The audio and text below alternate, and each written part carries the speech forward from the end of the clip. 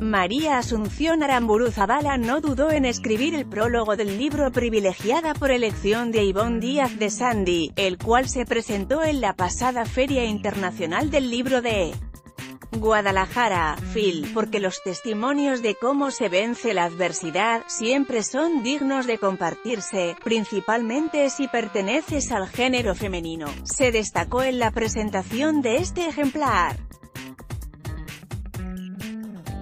La empresaria mexicana, considerada como una de las mujeres más influyentes de México y miembro del Consejo de las Empresas más prestigiadas de nuestro país accedió a platicar con Organización Editorial Mexicana, UEM, sobre cómo emprender y lograr el éxito con los desafíos que esto implica. Libros como este son una gran fuente de inspiración para que otras mujeres quieran emprender, y simplemente para realizarse o cumplir su sueño. Nos invita a nunca dar por vencidas en nuestro camino no importa que tan duro sea, todo pueden lograr. María Asunción señaló que con gusto hizo el texto introductorio de la autora y empresaria Tapatía, quien se dedica al negocio de la moda, porque se trata de un tema universal de la mujer mexicana que nos hace ser mejores, no importa los obstáculos que tengas en el camino, recordó que Yvonne tiene un programa en que apoya a otras mujeres, este libro no solo se quedó en una lección de vida y palabra sino en una academia en donde enseña a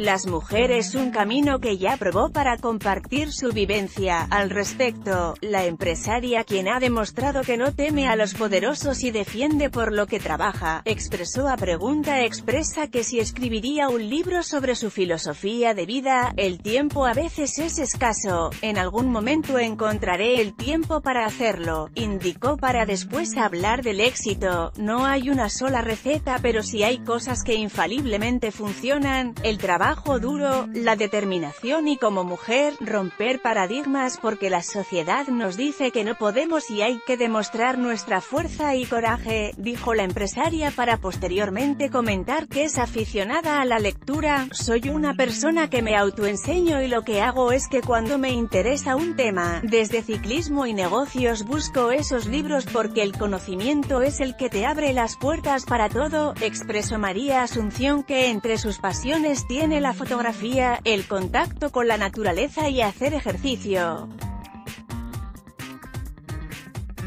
Finalmente, la mujer de ojos verdes expresó que sus deseos para el próximo año, son paz, seguridad y prosperidad para todos.